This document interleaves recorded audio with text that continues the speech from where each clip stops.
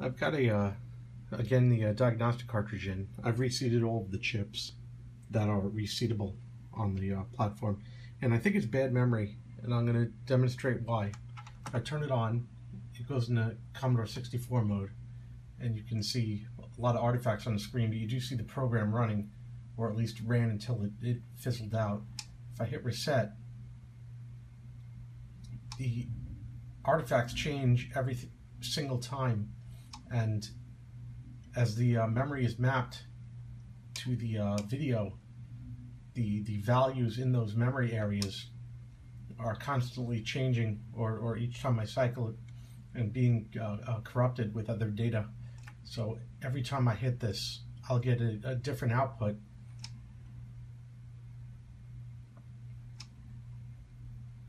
Also, if I load my final cartridge 3, which I'm not going to do, but when I do, the top menu will actually come up for a brief moment before the program crashes. But this is what I get. Never in the same location.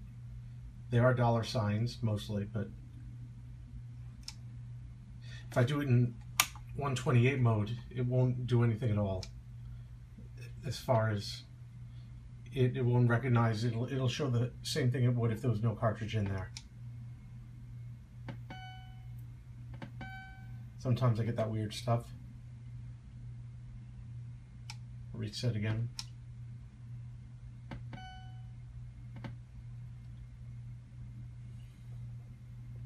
And you notice if I stop here, we have a blinking cursor.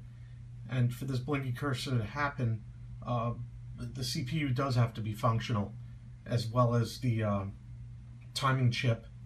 I believe it's somewhere in one of the uh, CIAs of the unit that blinking cursor is also changing the B from a B to an inverse colored B. And it's doing it in the correct color as well.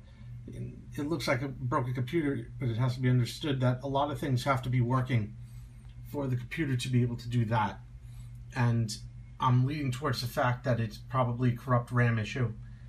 Uh, I'm going to have to look through the books now and see if I can isolate uh, which one of the memory chips for the 128K is, is causing this issue.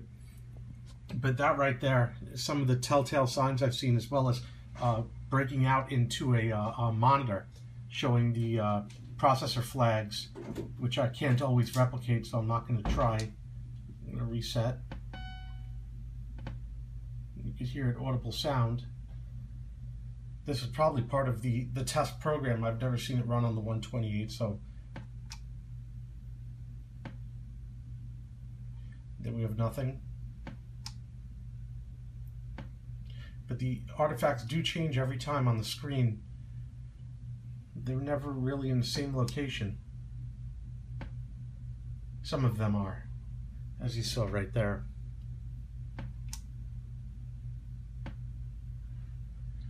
See now we got something entirely different.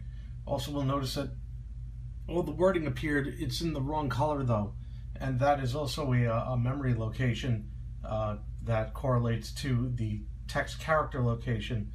Uh, got a wrong color and then maybe reintroduce that color throughout the entire writing of the logo. So we'll see.